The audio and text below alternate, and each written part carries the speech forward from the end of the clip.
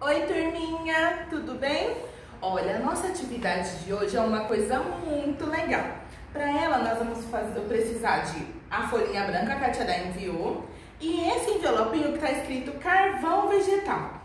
Aqui dentro nós temos carvão de verdade, olha só. Ele é um lápis de carvão e nós vamos usar ele para fazer um desenho que vocês quiserem. Utilizem a imaginação de vocês e podem desenhar da forma que quiser.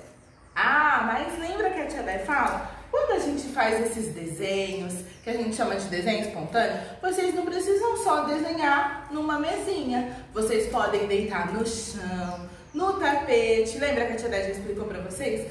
Um lugar que vocês mais gostarem, se sentirem melhor, vocês podem fazer esse desenho, tá? Só presta atenção um pouquinho, porque quando a gente utiliza o carvão, às vezes suja a nossa mão, tá bom? Mas é normal isso acontecer. Vocês desenham o que vocês quiserem, manda a foto pra Tia Dai pra eu poder ver vocês.